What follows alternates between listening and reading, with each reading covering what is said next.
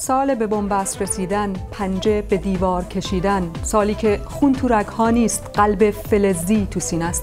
وقتی که تصویر زمان شکستگی آین است. همه به هم بی‌اعتنا حتی به مرگ هم دیگه. کسی اگه کمک بخواد کی می‌دونه اون چی میگه؟ سال سقوط سال فرار سال گریز و انتظار. این بخشایی از ترانه معروف داریوش با شعر اردلان سرفرازه که سالها قبل برای سال 2000 سروده شد اما خیلی ها در سال 2020 با اون ارتباط برقرار کردن. در یک ساعت آینده مروری می‌کنیم به اونچه که در این سال گذشت در ساعت پایانی سالی که شبیه هیچ سالی نبود. خوش آمدید به صفحه دو ویژه مرور سال 2020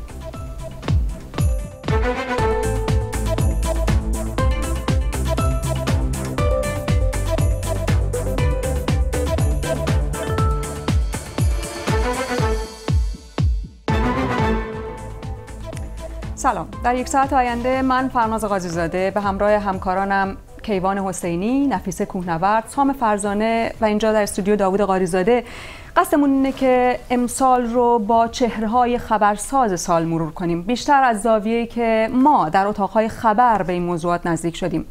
برنامه زمان محدودی داره و چهره و اتفاقاتی که دربارهش صحبت می‌کنیم اتفاقات بین المللی هستند. اتفاقات متعددی در ایران و افغانستان در سال گذشته افتاده از جمله اعدام ها و اعتراضات در ایران و کشتار روزنامه نگاران و فعالان مدنی در افغانستان که متاسفانه در این برنامه مجالی برای صحبت درباره اونها نداریم. حتما در برنامه پایان سال شمسی بیشتر دربارهشون صحبت می‌کنیم. اما امسال فرصت خیلی کم بود برای شروع اتفاقات. روز سوم ژانویه قاسم سلیمانی در عراق ترور شد و اتفاقی بود که همه ما شوکه شدیم. من خودم یادم میاد که وقتی که خبر رو شنیدم اولین چیزی که به ذهنم اومد این بود که ای وای الان جنگ میشه. نفیس واکنش تو چی بود؟ دقیقا همون. من اگر خاطرت باشه داشتم با عراق صحبت می کردم برای من پیام اومد از دوستانم در عراق که یک اتفاقی داره اینجا میفته ما در بغداد هستیم صدای انفجار خیلی قوی رو شنیدیم و یکی از اونها خیلی اتفاقی اون شب داشت می‌رفت فرودگاه و برای من نوشت که اینجا تو فرودگاه یک اتفاقی افتاده و من وقتی که با منابع خودمون تو نیروهای اطلاف تماس گرفتم. اول حدس این بود که به یکی از پایگاه های آمریکایی حمله شده و خود اونها هم یعنی از نیروهایی که توی پایگاه بغداد بودن پایگاه آمریکایی بغداد بودن فکر کردن که حمله شده به یک پایگاه دیگرشون در فرودگاه. اما بعد از چند ثانیه گفتن که نه ظاهرا این یک عملیات از طرف خود آمریکاست و هنوز نمی‌دونیم که دقیقا چه اتفاقی افتاده. و چند تقریبا میشه گفت بعد از ده دقیقه ما متوجه شدیم که ماشین حامل قاسم سلیمانی و ابو مهدی مهندس منفجر شده. که من به تازگی هم برگشتم از عراق و اون مسیر رو رفتم. الان اون مسیر رو تبدیل کردم به نوعی شبیه موزه شده. تمام اون دیوار رو شیشه کشیدن جلوش دیواری که ماشین ها همونجا روبروش منفجر شده بودن. حالا کسانی که قاسم سلیمانی از نظرشون قهرمان بوده میرن اونجا شم روشن می‌کنن دعا می‌کنن. اما همونقدر هم خیلی ها مخالف آقای سلیمانی بودن و هنوز هم در خود بغداد در خود عراق بحث بر سر این هست که این فرد واقعا چقدر یعنی از این سر تا اون سر نگاه ها باهاش متفاوته. برای یک گروه نظری دارن یا دوستش دارن یا ازش متنفرن درسته؟ برای یک گروه برای یک گروه در عراق بلفرس آقای سلیمانی تروریسته برای یک گروه قهرمانه یعنی اینقدر تفاوت هست بله. بین و یک اتفاق یعنی تو اون هفته اگه یادتون باشه از زمانی که این اتفاق افتاد تا تقریبا یک هفته بعد هر روز ما یک خبری داشتیم و بیشتر اول نگرانی در مورد جنگ بود. من یادم روزی که روز هشتم ژانویه وقتی که خبر سقوط هواپیما اومد در میان خبرهای ترس از جنگ اول گم شد. یادتون هست؟ نمی‌دونم کیوان تو بودی اون روزا در نیوز روم به نظر می اومد که ما اولین من خودم یه توییت کردم در موردش. و نوشتم که چقدر ناراحتم برای اینها که کشته شدن و بیون این خبرها گم شد این خبر. نمی‌دونستیم که این خبر مهمتر میشه از حتی خبر اولیه و خبر کشته شدن قاسم سلیمانی. دقیقا وضعیتی که شکل گرفته بود نتیجه التهاب خیلی کم سابقه ای بود که در اون روزها توی خاورمیانه شکل گرفته بود و ارتباط مستقیم داشت با شخصیت قاسم سلیمانی و ابعاد تبلیغاتی این شخصیت. پرسونای بین المللی که قاسم سلیمانی داشت اساسا به این قصه چنان وزنی داد که بسیاری فکر کردن چه بسا جنگی هم در بگیره. از این جهت اتفاقا زمانی که قاسم سلیمانی کشته شد از نظر من چه شاید بشه اون رو یک پایان باور نکردنی برای یک قصه دراماتیک توصیف کرد از این جهت که آنچه که از قاسم سلیمانی در سطح جهانی معرفی شد خالی از حتی تخیل نبود. یک شخصیتی بود که هم خودش در ساختش دست داشت و هم روزنامه‌نگاران و تحلیلگران غربی.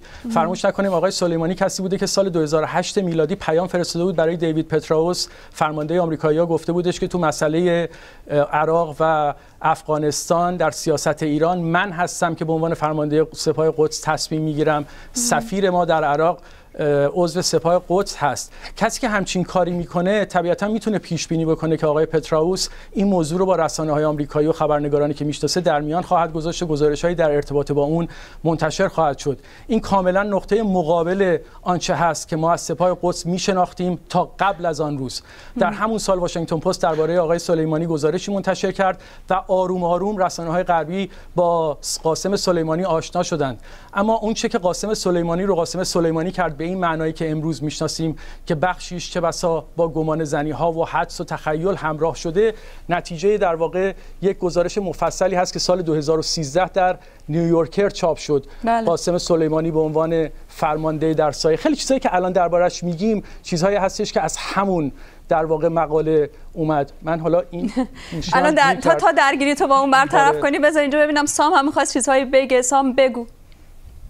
من می‌خواستم بگم که اون شبی که ایران در واقع اومد حمله به اصطلاح تلافی جویانه رو انجام بده من به خوبی به یاد دارم که نزدیک ساعت ده شب به وقت شرق آمریکا بود که آقای ترامپ یک توییت کرد و توی اون توییت در واقع توییت با این شروع می شد که همه چیز خوبه ایران حمله ای کرده که هیچ آسیبی به نیروهای ما نرسیده.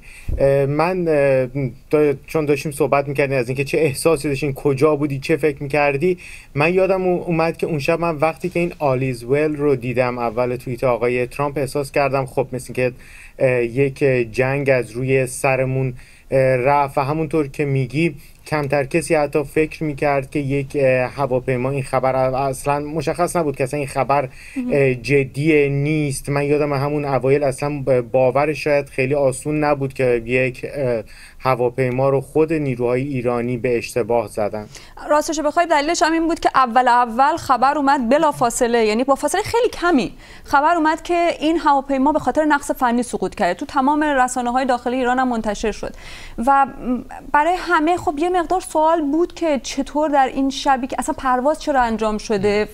ولی واقعا خیلی دور از ذهن بود که خود ایران این کارو کرده باشه. تا زمانی که بالاخره سه روز گذشت و مشخص شد که کار خود ایران بوده و در سه روز گذشتهش دروغ گفته می‌شد و پنهانکاری می‌شد و نمی‌گفتن.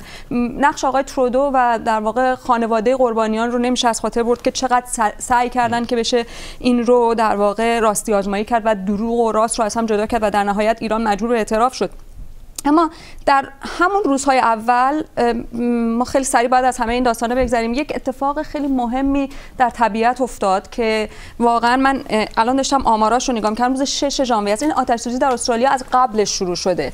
از آخر سال 2019 شروع میشه. سال روز 6 ژانویه که اوجش بوده 28 نفر کشته شدن ولی یک میلیارد جانور و گونه گیاهی بعضیش برای همیشه نابود شده. یعنی اساسا دیگه وجود نداره در ما وقتی که داشتیم دنبال این میگشتیم گفتیم یک عکس کوالا بذاریم و بگیم که چقدر این در واقع برای حیات وحش مسئله ساز بود. خوبیش اینه که داوود برای سالهای آینده میشه یه مقدار امیدوار بود که بشر یه مقدار برای مسئله محیط خودش و حیات وحش و محیط زیست اهمیت بیشتری قائل بشه. کاملا کاملا دقیقه ولی من می‌خواستم یک نکته در رابطه با قاسم سلیمانی بگم اگر اجازه باشه که دوباره برگردیم. که دو سال بعد صحبت کردن. بعد از کشته شدن قاسم سلیمانی در افغانستان هم چون خیلی نفوذ زیاد داشت و همینطور شناخت بسیار عمیق از افغانستان داشت بعض از سیاستمداران افغان نمی‌دونستن که چطور واکنش نشان بدن. اگر تسلیت بگن و محکومش کنن ممکن است که با امریکا درگیر شن مثلا چون خیلیشان دوست امریکا و اینا هستن. ولی بعض دیگر هم ناچار باید به یک شکل می‌رفتن و تسلیت می‌دادن چون به خاطر خوشنودی ایران و کسان دیگه ای که در رأس قدرت اینا بودن. بنابراین یک حالت عجیب و غریب بود واقعا و در نهایت هم دیدیم که یک تعداد از سیاستمداران که از از گذشته خیلی با ایران نزدیک بودن رفتن تسلیت گفتن و در سفارت ایران رفتن حتی اون کتاب یاد بود و اینا رو امضا کردن. و یک عده دیگه هم سکوت کردن که سکوتشان تا حد زیاد معنادار بود و به همون دلیلی که نخواستن رابطهشان با آمریکا در واقع خراب شد ولی بدون شک سال خیلی پر تحول خیلی پر تحول خواهش می‌کنم هر موقع که خواستین چیزی بگید همتون اشاره کنید چون من می‌تونم بیارمتون دو بحث همون جایی که صحبتش هست. ولی در مورد محیط زیست می‌خواستم حتما صحبت بکنیم اینجا با توجه به اینکه آقای ترامپ از اون قرارداد زیست محیطی پاریس خارج شده خیلی ها رو نگران کرد. اما الان به نظر میاد که یه امیدهایی دوباره ایجاد شده. سام با توجه به اینکه آقای بایدن این رو یکی از اولویت هاش قرار داده. می‌دونیم که در کالیفرنیا کالیفرنیا هم آتش سوزی گسترده در ماهای پایانی سال بود. چقدر این قضیه واقعا در اولویت هست؟ عجیبی بود. تصاویر خیلی عجیبی بود. من این رو اشاره بکنم. تصاویری که از کالیفرنیا می اومد آسمانی که قرمز شده بود و خورشید دیده نمی‌شد. اینها تصاویر بسیار بسیار عجیبی بود که ما می‌دیدیم به خاطر شدت دودی که اونجا وجود داره و اینکه آقای ترامپ مقاومت می‌کرد در برابر اینکه بخواد حتی قبول بکنه که ممکنه که تغییرات اقلیمی باعث چون این آتش سوزی هایی شده باشه. بیشتر دلش می‌خواست که باور بکنه یا این باور رو بقبولونه که مسبب اصلی همه این اتفاق ها مثلا درختان خشکی هستند که در جنگل ها افتادند روی زمین و بعد اینها مثل هیزومی هستند که آماده اشتعال هستند و آتش می‌گیرند و می‌گفت بله که اینا مشکل اینها کار جنگلداری رو باید درست کنیم که این مشکل برطرف که حالا جالبه که جنگلداری حالا توی کالیفرنیا اون بخشی که داشت میسوخت 80 90 درصدش اصلا کار دولت فدرال بود نه کار دولت ایالتی. ولی خب آقای ترامپ تونسته در این چهار سال این نقش رو بازی بکنه که در عین حال که رئیس جمهوری کشور رئیس حزب اپوزیسیون هم خودش رو می‌دونه و انتقاد می‌کنه از بالا تا پایین مملکت رو و به این ترتیب می‌تونه که اون انتقادهایی که به خودش مربوط میشه رو انگار یک جوری بندازه گردن بقیه. این رو هم بگم که آقای بایدن رئیس جمهوری منتخبی که تا 21 روز دیگه وارد کاخ سفید میشه قول داده که آمریکا دوباره برگرده به توافق پاریس و تازه گفته این حداقل کاریه که می‌کنه. نماینده ویژه برای امور محیط زیستی معرفی کرده و به نظر می‌رسه که حالا دست کم در حزب دموکراتیک آمریکا این تلاش داره انجام میشه که مسائل زیست محیطی رو جدی بگیرن. بله. و ما در سال 2021 احتمالا آقای جان کری رو بیشتر در خبرها خواهیم دید.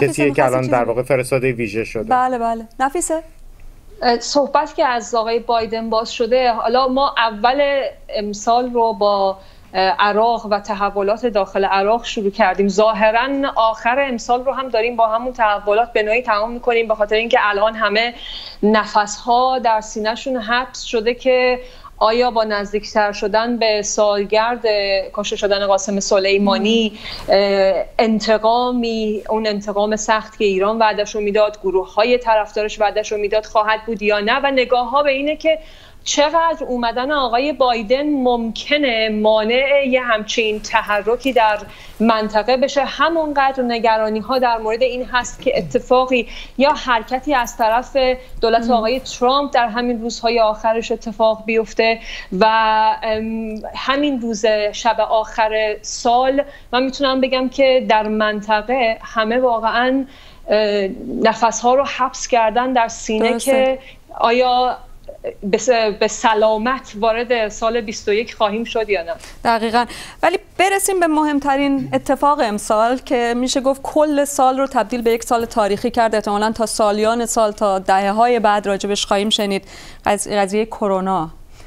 و اتفاقی که در واقع با کرونا افتاد و اقتصاد دنیا به نوعی میشه گفت وارد بزرگترین چالش خودش برای تقریبا حدود 80 90 سال گذشته شده.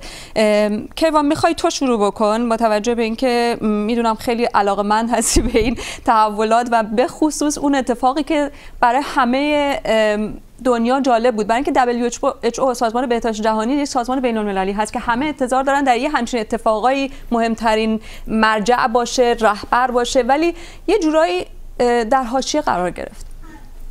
واقعا بحث حکمرانی جهانی یکی از موضوعات بسیار مورد علاقه من هست که بسیارم دربارش مطالعه می‌کنم. اتفاقا تو بحث محیط زیست هم بی ارتباط نیست. همین موضوع سال 2020 قرار بودش که سال محیط زیست باشه. قرار بود سالی باشه که کنفرانس مهم سازمان ملل با نام کاپ 26 برگزار بشه در گلاسکو و پیمان توافق پاریس عملا بزرگترین گام عملیش در سطح کشورها و دولت‌ها برداشته بشه که به خاطر بیماری کرونا این اتفاق نیفتاد و این کنفرانس در واقع لغو شد و فرستادنش برای سال 2000 2021 و بیماری کرونا اتفاق افتاد و فرصتی ایجاد شد برای کسانی مثل دونالد ترامپ و هوادارانش که به شکل ایدئولوژیک با مسئله حکمرانی جهانی و سازمان‌های بین المللی مخالفند و اون رو برخلاف حاکمیت ملی کشورها می‌دونند و طرفدار این هستند که اختیار کشورها به هیچ وجه به هیچ سازمان بالادستی منتقل نشه و از این فرصت هم حداکثر استفاده رو برد.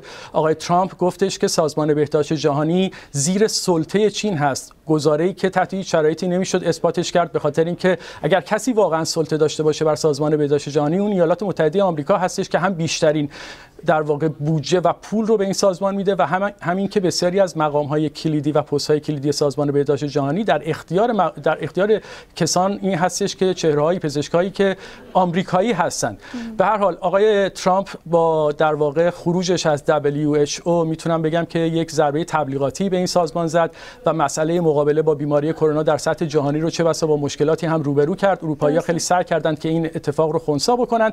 در نهایت این امیدواری وجود داره که با اومدن جو بایدن مسیر عوض شه به ویژه اینکه آقای بایدن فقط نگفته که به توافق پاریس برمیگرده یا مثلا پیمان برجام به WHO هم می‌خواد برگردونه ایالات متحده رو. و اصولا می‌دونیم که آقای بایدن هم از اون دسته سیاستمداران آمریکایی هستش که بسیار علاقمندند به سازمان‌های بین المللی همکاری‌های چند جانبه در سطح بین المللی و افزایش نفوذ و قدرت سازمان‌هایی مثل سازمان بهداشت جهانی. این گوشی با تو سر سازگاری نداره. دوباره اومد بیرون کیوان ولی می‌خوام ما الان عکس آقای فاوچی رو نشون دادیم. آقای فاوچی جالب هست. از این نظر که کسی ما لاقل خارج از آمریکا او رو نمیشناختیم. اما در یک سال گذشته بیشتر از خیلی از سیاستمدارا در خبر بود.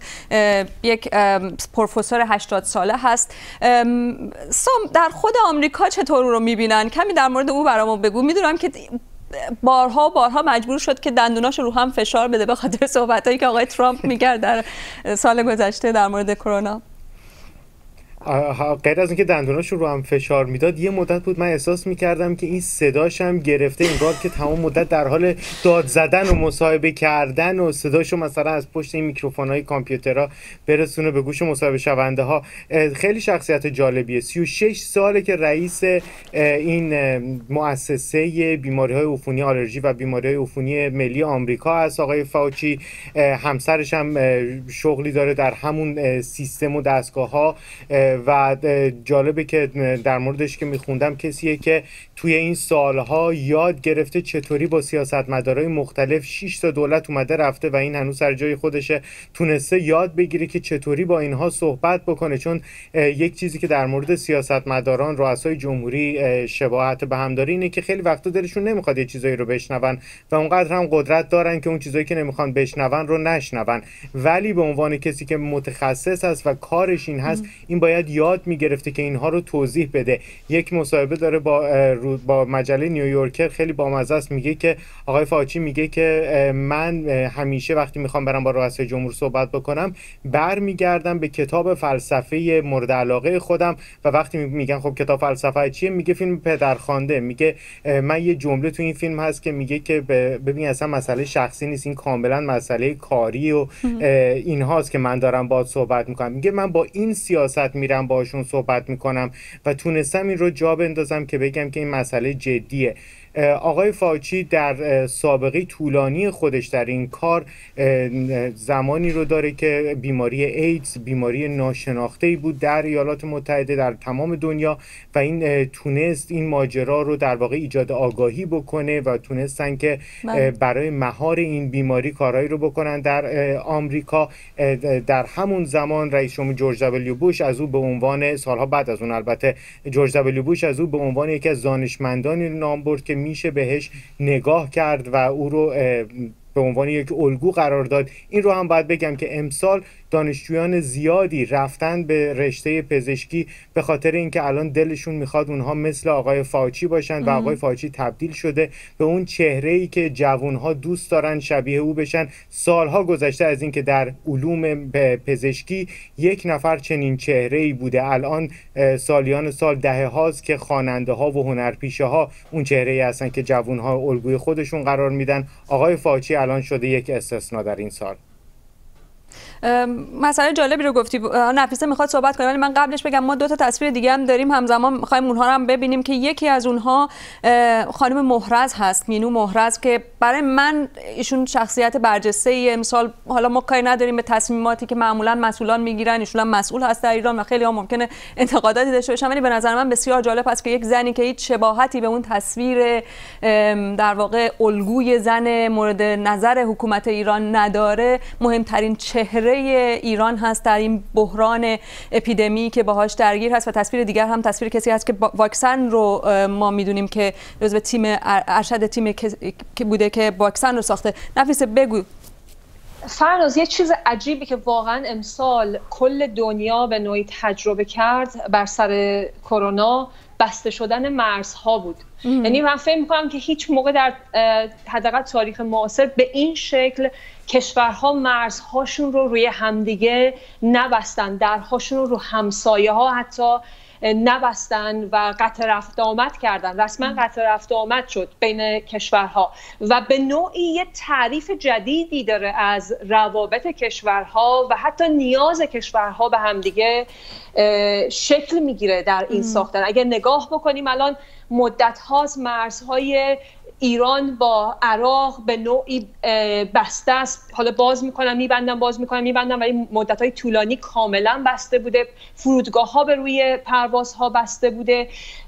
و هر کدوم از کشورها دارن یاد می‌گیرن که چطور به خودی خودشون باید از راه دور مشکلاتشون رو حل بله. بکنن و به چه شکلی رابطه و رفت و آمدشون رو با کشورهایی که قبلا شاید حالا به نوعی درشون تا تاق باز بود الان دارن این رابطه رو باز تعریف می‌کنن به نظرم. چیزیه که در سالهای آینده تاثیرش رو خیلی بیشتر خواهیم دید. یه چیز دیگه که حالا ما اینجا باش خیلی درگیر بودیم این چند چند ماه گذشته قضیه زوم و جلسات روی زوم بود.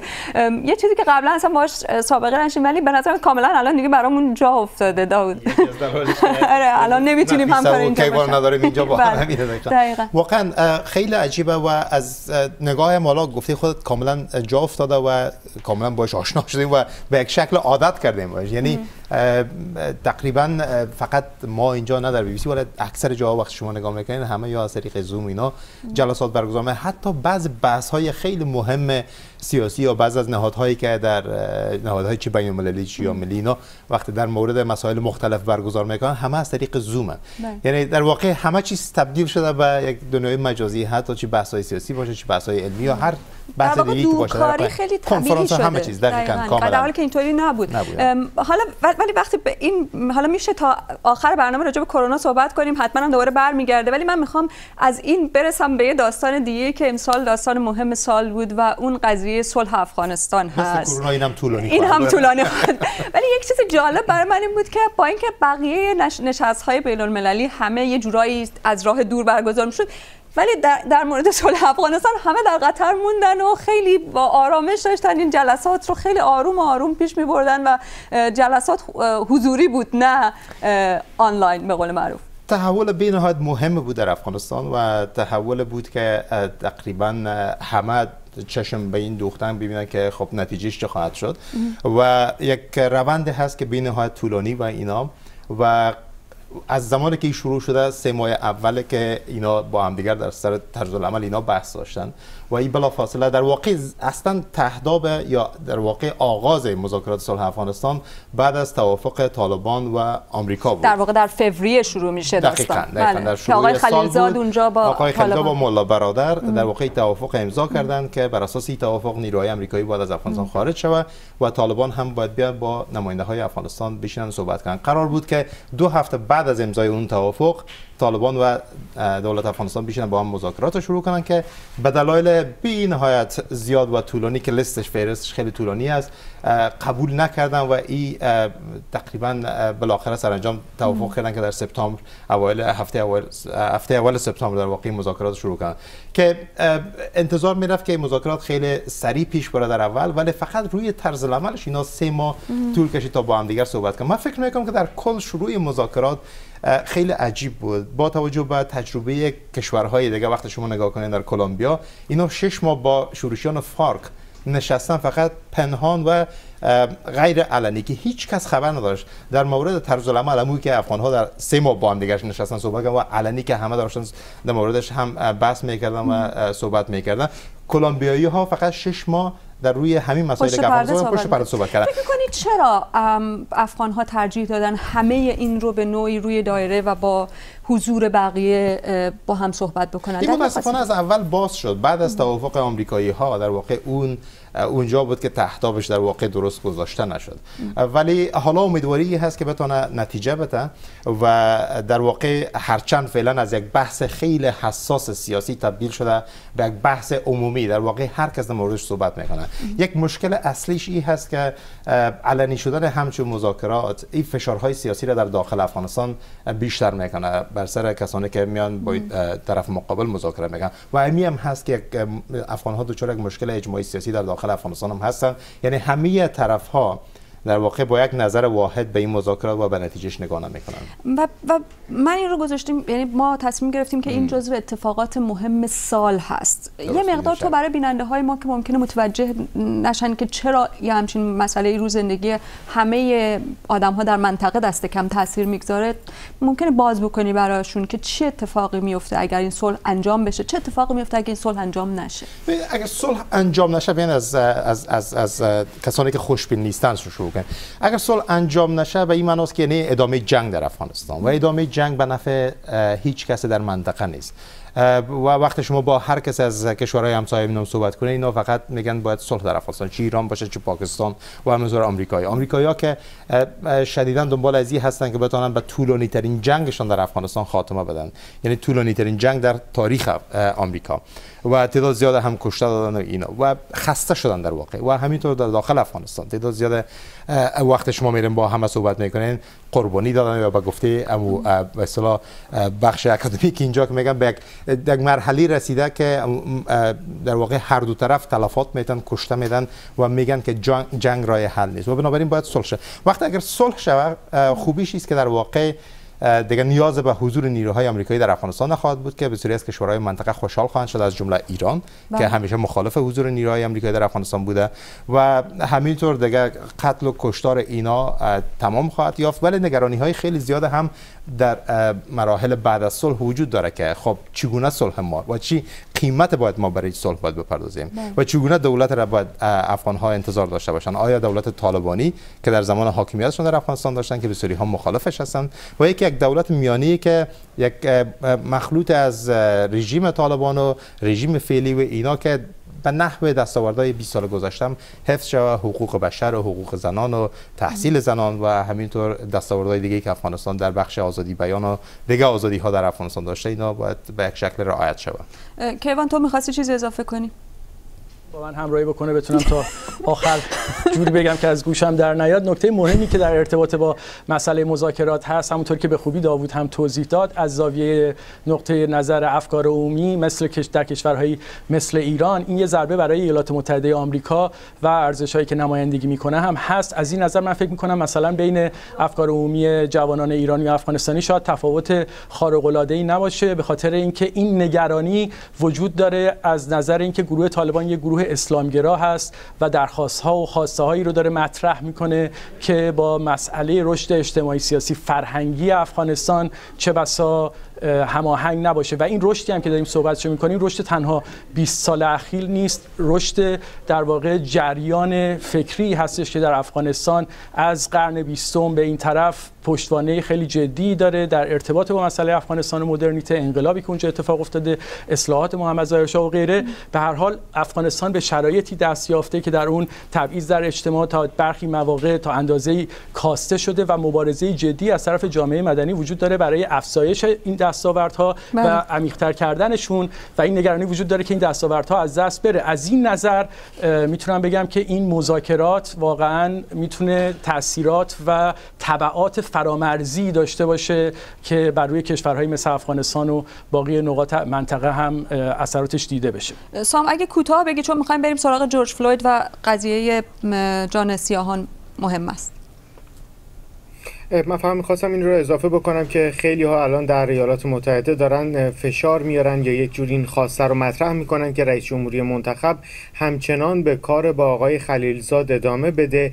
برای اینکه اونها تصور می‌کنن که این روش و این مسیری که داره جلو میره مسیریه که می‌تونه باعث اتفاقات خوبی بشه. از جمله اتفاقات خوب وقتی که ازش صحبت می‌کنیم یعنی اتفاقات خوبی برای آمریکا به گمان اونها یعنی اینکه بتونن نیروهای خودشون رو از افغانستان بیرون بیارن و این بار سنگینی نکنه روی دوششون که اونها رفتن و دو دهه در یک کشور دیگه حضور داشتن و نتونستن هیچ کاری انجام بدن و باعث بدتر شدن اوضاع هم شدن. به نظر می‌رسه که آقای بایدن هم بخواد همون سیاست های دوره آقای ترامپ رو ادامه بده. داود چیزی اضافه در, در ادامه صحبت های سام بسیاری از افغان ها امیدوارن که با آمدن آقای بایدن ممکنه که اوضاع کم تغییر کنه. چون تصور کلی در افغانستان ای بود که آقای ترامپ کاملا خودش تصمیم می‌گرفت بدون مشوره با مقام های افغان و هر گونه مذاکره هم که با طالبان جریان داشت اصلا افغان در جریان قرار نمی گرفتن حالا میگن که احتمالا آقای بایدن بیا و توافقات که قبلا آمریکایی‌ها با طالبان کرده اینا رو هم بازنگری کنن و به یک شکل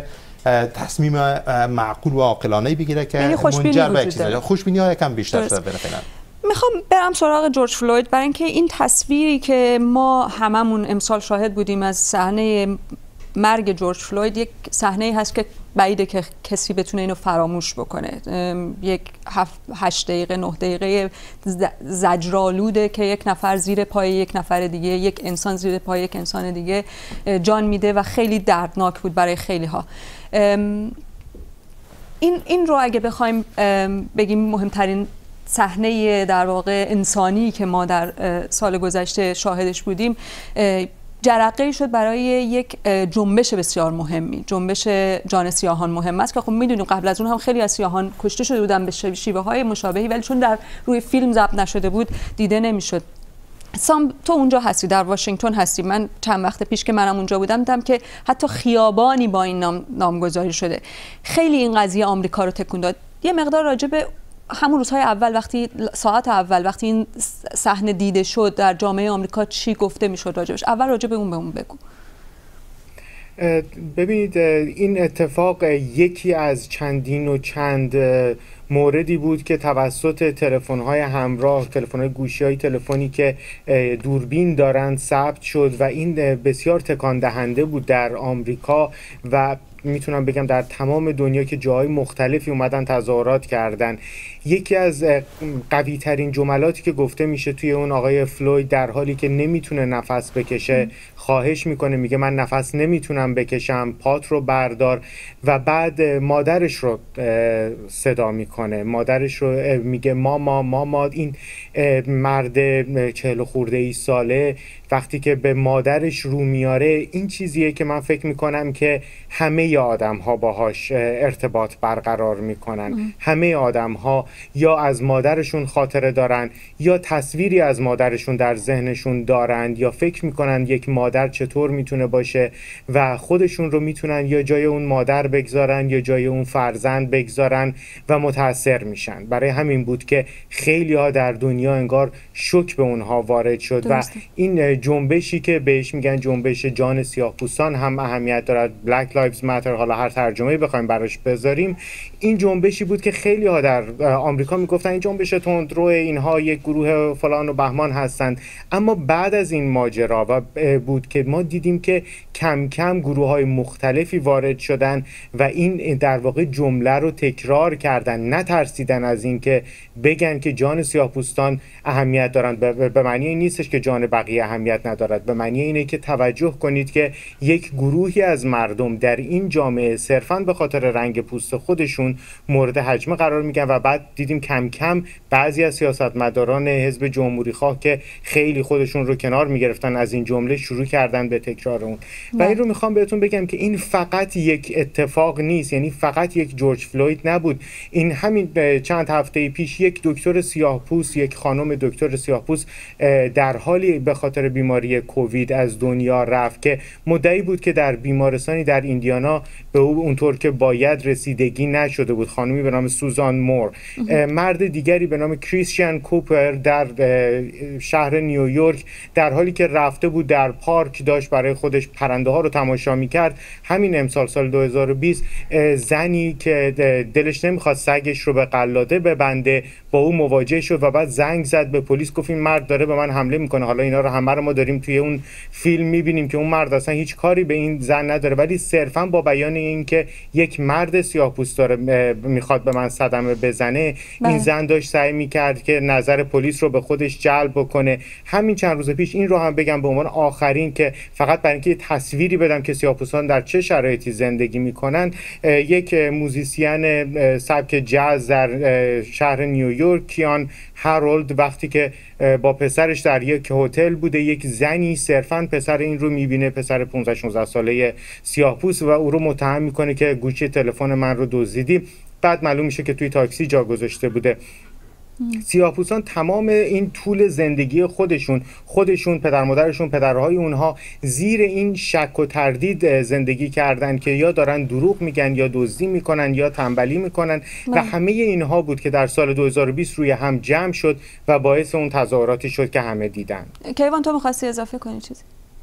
مللی پیدا کرد. ابعاد جهانی پیدا کرد. بسیار فراتر از ایالات متحده و بسیار فراتر از مسئله تبعیض علیه سیاهان در جوامع غربی. در کشورهایی مثل بریتانیا ابعادی که داشت مرتبط بود با مسئله تبعیض علیه سیاه‌پوستان اما همه ما می‌دونیم که در زبانهای مختلف کشورهای مختلف بحث داره داختر و داختر میشه. نجات پرستی یکی از زخمهای کهنه و بسیار عمیقی هست که بر چهره بشریت نقش بسته و سابقه چند صد ساله‌ای پیدا کرده و الان همچنان در ارتباط با اون پرسش های بسیاری وجود داره. در همین ایران هم چه بسا سالی که گذشت به دلیل اتفاقاتی از این دست و شبیه جنبش جان سیاهان اهمیت دارد مسئله نجات پرستی از همیشه بیشتر مطرح شده و الان حتی پرسش های از این دست هم وجود داره که نجات پرستی اصولا یعنی چی؟ ما باید این رو باز تعریف بکنیم. برخورد هایی که با ملیت های کشورهای دیگه میشه قومیت ها زبان های مختلف حتی کسانی که پیرو ادیان دیگر و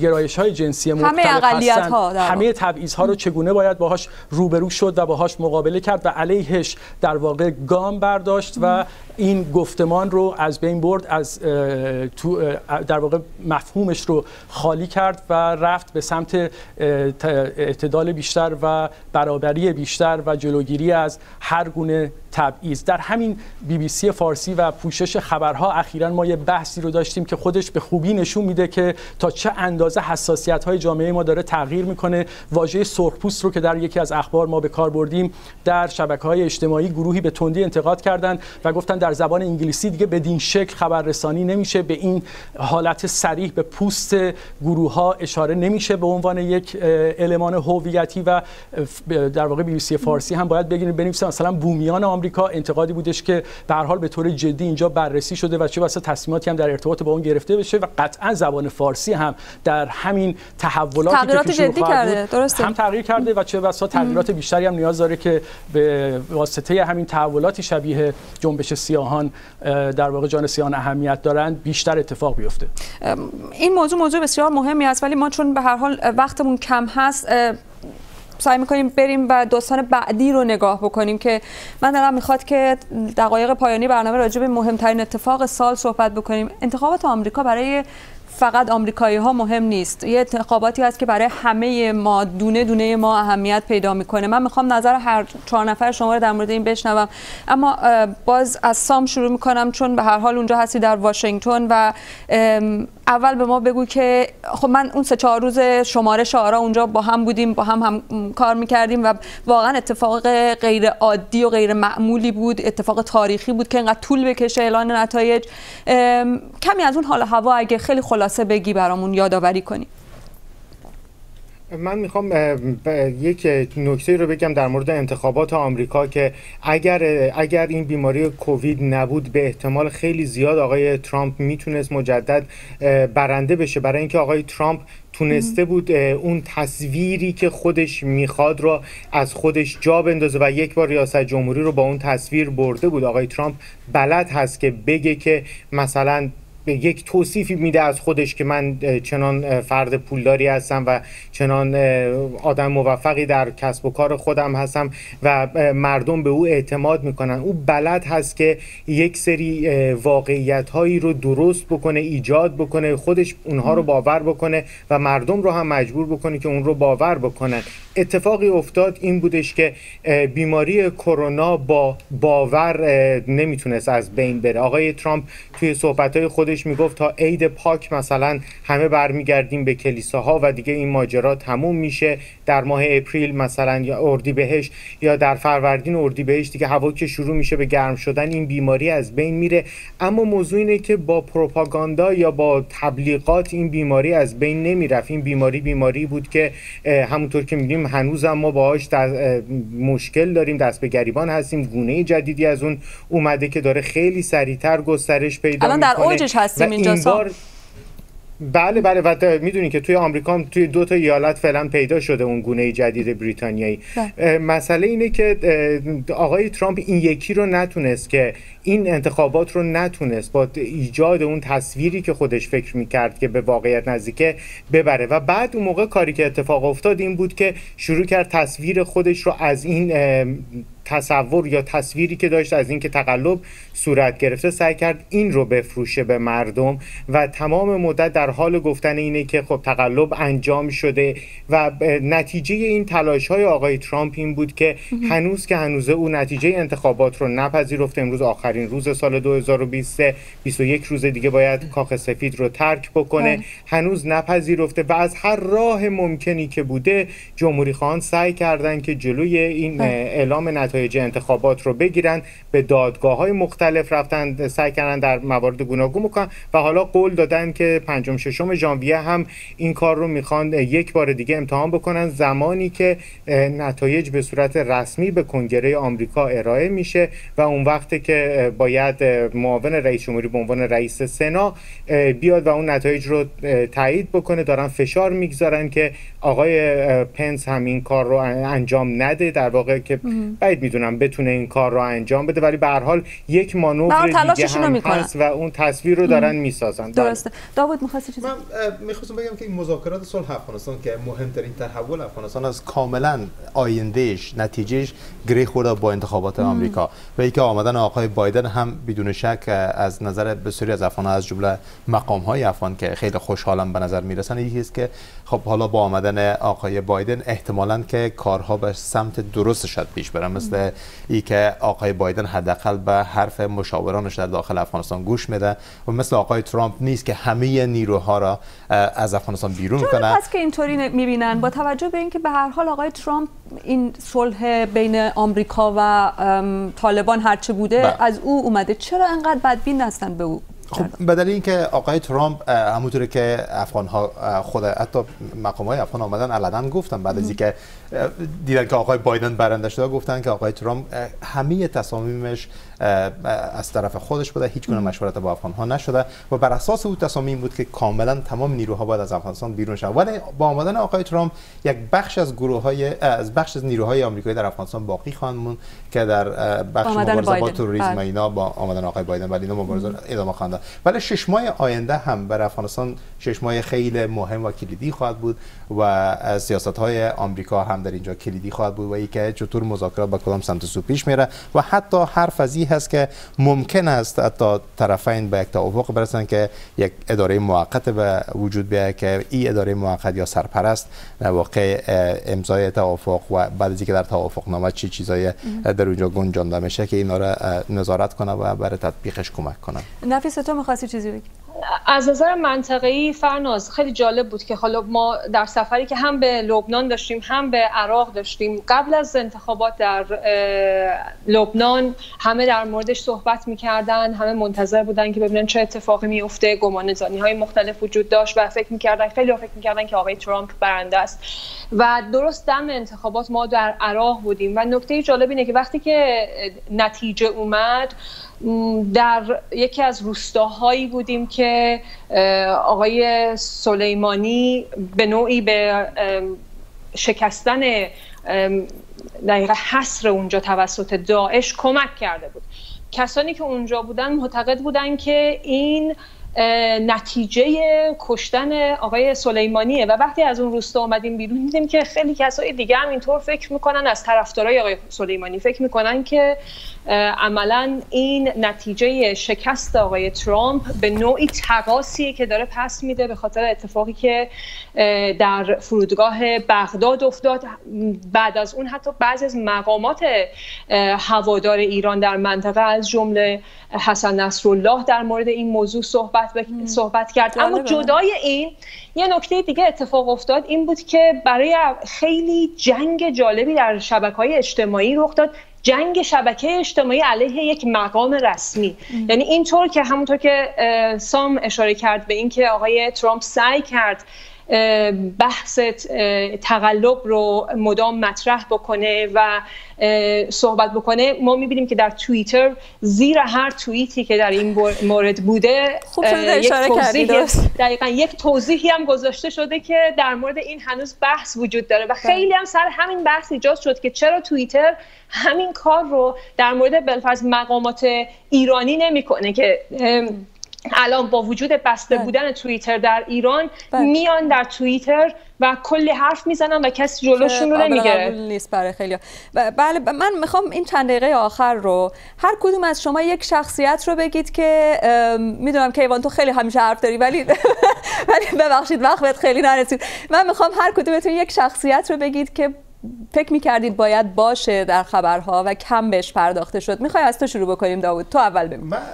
شخصیتی را که می‌خوام در موردش صحبت کنم احمد شاه اسمش است که خیلی کم در خبرها بوده ولی یک شخصیت بی نهایت تاثیرگذار و کسی هست که از 20 سال به این طرف در امارات متحده عربی ای به عنوان تاجر در اونجا فعالیت داره و عکسش که شما الان نگاه می‌کنید شاید از معدود عکسایش است که شاید هم اولین بار است که ما این عکسش مثلا بخش می‌کنیم اینا چاپ گذاشتیم. عکس کمتر دیده شده در رسانه ها هستن در موردش صحبت نشده. تاجر است فعلا ولی شخص کاملا بیطرف و با تمام سیاستمداران افغانستان این ارتباط داره و به عنوان یکی از کاندیداهای بالقوه همونطور که بیشتر در رابطه با اداره موقت ما صحبت کردم احتمالا شاید یکی از کاندیداها برای سرپرستی همچون اداری باشه. شخصیت مورد قبول برای امریکا برای اتحادیه اروپا و حتی برای طالبان و همینطور برای تمام سیاستمداران داخل افغانستان. و کسی بوده یعنی که در سالهای آینده بیشتر در مورد او خواهیم شد و در هفته ها و ماه های آینده حتی در مورد شاید بیشتر بشنویم. بسیار خب کیوان تو بگو. خیلی هم دلخور به نظر میاد. نه به خاطر که اون قسمت ترامپ و یه چیز خیلی کوتاه بگو خیلی کوتاه وقت نداری. تو ذهنم بود که حتما اشاره بکنم به اینکه به عنوان یک روزنامه‌نگار ایرانی که مسئله دموکراسی شاید خیلی براش اهمیت داشته باشه انتخابات آمریکا اتفاق عجیبی که این دوره افتاد ضربه ای بود که به باور در ارتباط با دموکراسی زد در بین گروهی در داخل کشور از طرفداران آقای ترامپ که در واقع یکی از نتایج دور از انتظار این انتخابات بود به دلیل اون چه که ادعای تقلبی که ایشون مطرح کرد. اما حالا فراتر از این موضوع در ارتباط با چهرهایی که کمتر دربارشون شاید صحبت بشه دست کم در رسانه های مثل رسانه بی بی سی فارسی من جاسیندا آردرن رو انتخاب می‌کنم که اسم خیلی دشواری هم داره. حالا اسمش کمتر در اخبار در واقع میاد. شاید بعد نباشه برای نخست وزیر نیوزیلند. نخست وزیر نیوزیلند که در این سال موفق شد برای دور دوم هم انتخاب بشه. کسی هستش که در در واقع جوانترین زنی هستش که در نیوزیلند در سال 2017 به قدرت رسید. کار کارنامه درخشانی داشت تا سال 2020 در زمینه توسعه خدمات اجتماعی آموزش و بهداشت و همچنین کابینه ای رو معرفی کرد که در اون از اقلیت های قومی و همچنین زنان مختلف در پست های مختلف استفاده کرده بود که در نوع خودش کم نظیر بود از همه اینها مهمتر در سال 2020 با بحران کرونا موفق شد که یکی بله. از بهترین نمونه های کنترل این بیماری رو داشته باشه و در شرایطی که سراسر کره زمین به سختی داره با این بیماری دست و پنجه نرم می‌کنه در طول سال وضعیت نیوزیلند اصلا قابل مقایسه نبود با کشورهای دیگه و یکی از موفق ترین رهبران سیاسی جهان هستش که نوعی جدید پر انرژی بله. متفاوت از حکومتداری رو داره معرفی می‌کنه در سطح ملی ممنونم از تو. وقت کمه. 4 دقیقه وقت دو دقیقه تو داری نفیسه دو دقیقه میدم اسام بگو نفیسه حالا نشد خیلی در مورد فاجعه هواپیما صحبت بکنیم. من نمی‌خوام در مورد یک شخصیت صحبت بکنم فقط خیلی گذرا واقعا دلم می‌خواد زندگی خیلی ها زیر رو شد به خاطر اون هواپیما و هر کدوم از اون شخصیت ها هر کدوم از اونها یک داستان داشتن داستانی که پشت سر گذاشتن. اما بعد از اون من رفتم انفجار بیروت رو پوشش بدم بله، و اونجا با یک یک انفجار بسیار مهیب بزرگی بود که یکی از مهمترین اتفاقهای منطقه هم به حساب میمد به خاطر اینکه خیلی از روند آینده رو می‌تونه شکل بده که خب فرصت نیست باز بکنم. اما در مورد شخصیتی که می‌خوام حرف بزنم آتش نشانهای لبنانی بود که نه تاشون دقیقا اولین کسانی بودن که به اون صحنه رسیدن برای خاموش کردن آتش اولیه اما خودشون تومه اون آتش شدن بله. قربانی شدن. و من هنوز برام خیلی سخته در مورد اونها صحبت کردن چون از نزدیک با خانواده هاشم دیدار کردم و همشون بسیار جوون بودن همشون معلوم بود که بعد فیلماشون رو من داشتم نگاه می‌کردم که استفاده بکنم برای بله. گزارش صحنه تولدی که فقط چند روز قبل از اون انفجار اتفاق افتاده بود و سورپریز کرده بودن شربل رو که احتمالا عکسش رو الان ما می‌بینیم بله. شربل رو سورپریز کرده بودن برای تولدش و همه اونها. این شخصیت ها شخصیت هایی هست که متاسفانه ما در رسانه به عنوان رسانه اون روزهایی که خبر داغه در موردشون صحبت می‌کنیم و به خاطر خود این شکلی که خبر رسانی داره پشت سر رها می‌کنیم و بله. دیگه در موردشون صحبت نمیشه. اما اونها اونجا هنوز داغشون برای خیلی ها برای خانوادهاشون تازه است. همونطور که داغ کسایی که در فاجعه هواپیما کشته شدن برای همه زنده است. بله بله. سام تو بگو. من شخصیتی که انتخاب کردم یک پزشک هست مثل بسیاری از پزشکایی که در سراسر دنیا هستند در این سال کار می‌کنن. اسم او مجگان قاضی راد هست که نویسنده هم هست و متخصص آی سی کودکان در یک از بیمارستان های واشنگتن است. خانم قاضی راد مثل بسیاری از پزشکان هر روز وقتی که سر کار میره با احتمال اینکه به بیماری کووید روبرو بشه مبتلا بشه به این بیماری روبرو هست. همسرش پزشک بنابراین بخت اینکه این بیماری بیاد توی خونه اونها دو برابر میشه. دختری دارن که دانشجوی پزشکی او هم امکان داره اضافه بکنه به این احتمال و این خانواده ها خانواده های کمی نیستن کسانی که در خدمات درمانی کار می‌کنن کسانی که در بخش صنایع غذایی هستن در ایران افغانستان در سراسر دنیا و جون خودشون رو هر روز می‌گیرن دستشون و میرن و با بیماران روبرو میشن. خیلی وقتا هم برخوردهای خوبی از طرف بیماران خانواده های اونها یا کسانی که به مغازه ها مثلا میرن برای خرید نمی‌بینن. اما با این حال سعی می‌کنن که شجاعانه بمونن سر کار خودشون و مراقب ما بچه هامون و دوستا کسانی باشن که ما دوستشون داریم. در واقع کادر درمان منتخب تو هستن برای کادر درمان و کسانی که ما در سال گذشته بهشون احتیاج داشتیم و زندگی ما رو در واقع حداقلی از نرمال رو در واقع حفظ کردن براش مثل راننده های تاکسی مثل در واقع کسایی که تو کار تغذیه ما هستن و رستوران ها منم می‌خوام یک نفر رو اضافه کنم در پایان این بحث. به نظر من شخصیت برگزیده امسال استنلی جانسون هست. پدر بوریس جانسون که امروز تا چند ساعت دیگه بریتانیا به طور رسمی در واقع برگزیت انجام میشه و خارج میشه از اتحادیه اروپا. این آقا امروز تقاضای شهروندی فرانسه کرد. ما رو با آشی که پسرش باخته تنها گذاشت و خودش داره میره فرانسه شهروندی بگیره. به هر حال ممنونم از هر چهار نفر شما. این سال پر از در واقع خوبی و بدی و زشتی رو برای ما مرور کردید. داوود کیوان نفیسه و سام ممنونم از چهار نفر شما و ممنونم از شما که با این صفحه دو ویژه مرور سال 2020 همراه ما بودید. برنامه رو می‌تونید هم بشنوید هم یک بار دیگه روی سایت یوتیوب ببینید. شب روزتون خوش.